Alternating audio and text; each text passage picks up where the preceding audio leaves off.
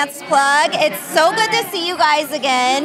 So good to see you too. How are you guys feeling? I am really excited right now, but at the same time, it's sad to see Daniela go home. Yeah. That was a And- shocker. Yeah, it was. Yeah, it was. she's an amazing dancer, and just no one could even. We're everyone in top ten is just so good. Like you couldn't even predict who was going home. And it was like we're all so dedicated, and we're all so in it. Like we all want it so badly, and so like. I, I don't know even know how the judges like chose that and Yeah. I know it's based on votes but like we were all super tight and we've even, we've created so many close friendships already Yeah. even in the past two weeks so it was very hard to see her go but like she's the most incredible dancer ever and I can't wait to see what the future will hold for her Yeah.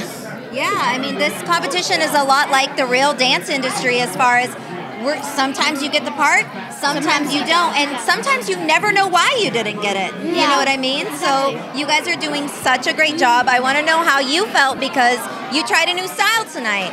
Um. okay, okay, so my first day, it was very hard. I was struggling a lot, but um, Fik-Shun like Fik-Shun and Kathryn were giving me like a lot of notes, and I just had to take them in. And as a dancer, you're gonna take constructive criticism, and you just have to take it and move on.